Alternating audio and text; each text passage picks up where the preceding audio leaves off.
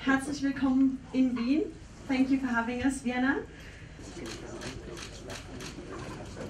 But Vienna is a sporting city. It's a very cool and all the crowd loves the sport in Vienna. The course in Vienna actually is purely flat. It's fast.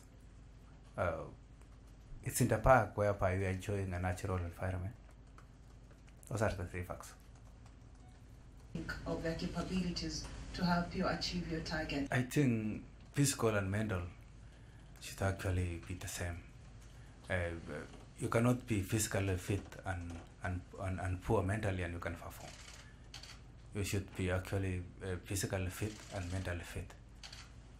So, you know, a human being is his conscience. You can be fit, but uh, the mind is not there. So, the, the moment that your mind is there, then all will be well. In which way your preparation for this challenge has been?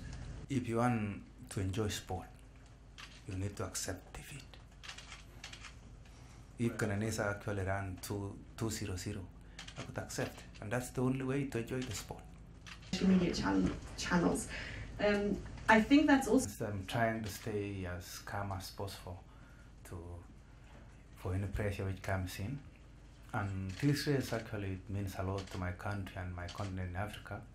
That uh, uh, it's it's it's about actually uh, telling people that uh, there is nobody who actually who sets the limits, and only limits are happening in in in their minds. It's not actually something ta- tangible. It's it's it's just happening in your thoughts. So what I'm doing is that I'm trying to just remove that click in their minds that uh, no no human is limited. Run in Berlin and to in Vienna two different things. Berlin is running and breaking a world record. Vienna is running and making history in this world, like the first man to go to the moon. That's the two different things. rummaging around. And good luck, Elias.